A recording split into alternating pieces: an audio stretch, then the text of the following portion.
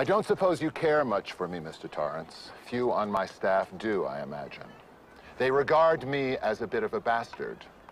They're right. One has to be a bit of a bastard. They're right. One has to be a bit of a bastard. Bastard. Bastard.